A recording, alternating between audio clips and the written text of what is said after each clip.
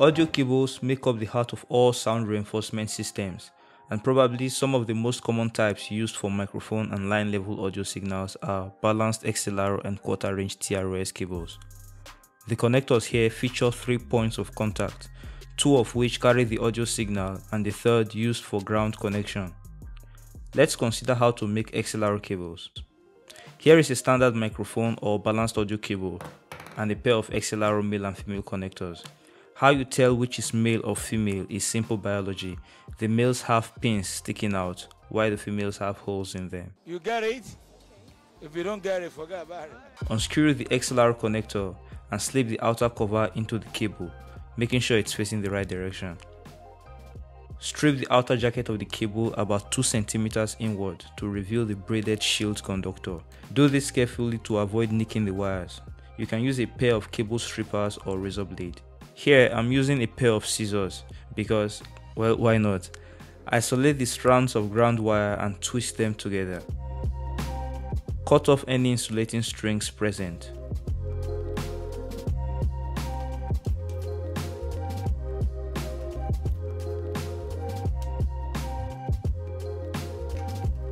Strip the red and white signal wires back about half a centimeter. The final step to preparing the cable is to tin the wires. This is done by melting solder into them.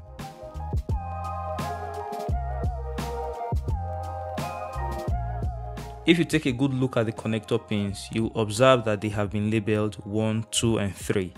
Pin 1 is connected to the ground wire, pin 2 is used for the positive or hot signal, while pin 3 is used for the negative or cold signal.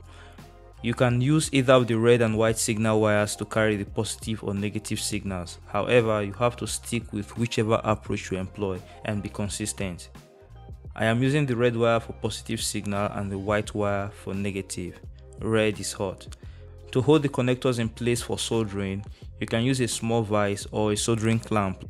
I will be using this broken microphone receiver that I modified for this purpose by adding these XLR connectors. Now, is this the best tool for the job? Probably not, but does it get the job done? Absolutely.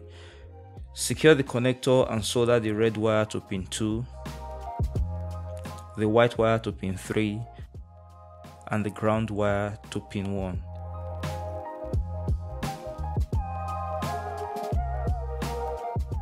With that done, wear in the strain relief jacket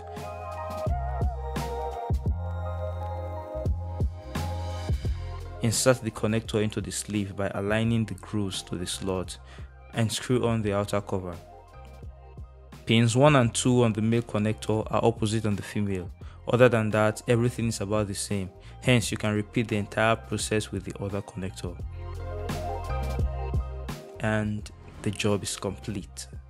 To test out the cable, you can use a standard cable tester like this one, which is specifically designed and built for this purpose.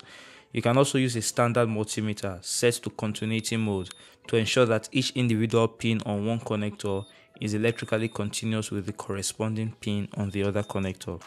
Now, if you're like me and you consider all that much stress, this is not professional advice, by the way. You can go ahead and test out your cable with an actual microphone like I've done here.